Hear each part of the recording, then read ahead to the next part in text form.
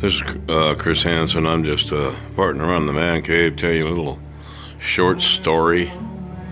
You know, we're all getting old and stuff, and and you know you got to do your thing. I take care of each other, and anyway, I'm farting around here in the man cave, and and I bought me a toy today.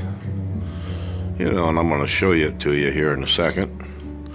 You know, everybody needs one after you're a little bit old, you know. You go into damn crazy Walmart, somebody try to kill you.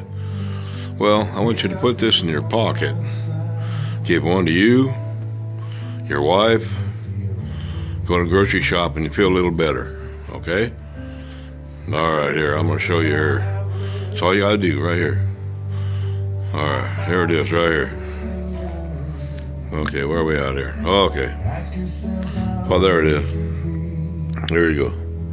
This is what you need to buy. Okay? Alright, see? Got your little flashlight, you see?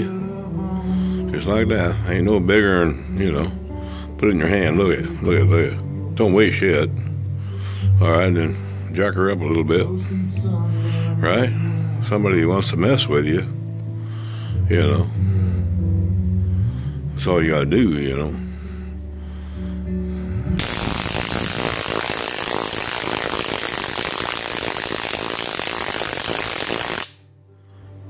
What do you think about that shit?